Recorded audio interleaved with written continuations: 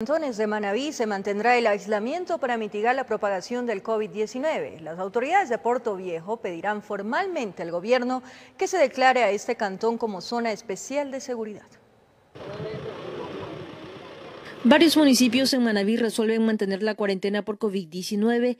La medida busca mitigar la propagación del virus. En cantones como Puerto Viejo, donde se registra el mayor número de contagios, el COE cantonal presentará formalmente al gobierno que se declare a este cantón como zona especial de seguridad.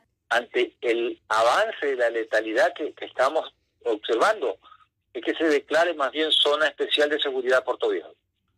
Así como lo hicieron con Guayaquil. En Jaramillo, el COE cantonal resolvió mantener a la población en aislamiento por tres semanas más, donde se evaluará la situación real y la posibilidad de levantar o extender esta medida. Pienso que nosotros tenemos que ir cumpliendo la meta, si es posible todo mayo, para poder tener una tranquilidad.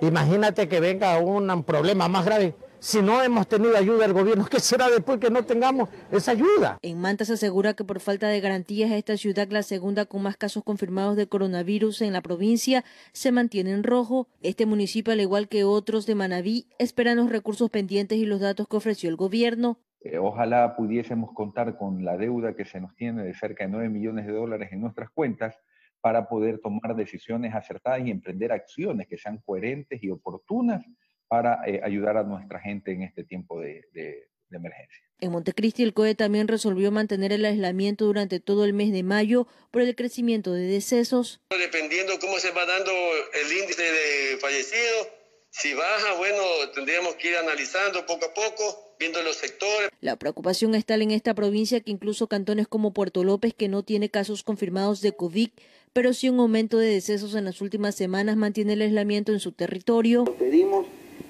urgentemente a través del Ministerio de Salud Pública se haga un diagnóstico rápido de la situación y que envíen las pruebas para determinar en qué fase incluso estamos. Desde la provincia de Manabí informó Wendy Delgado.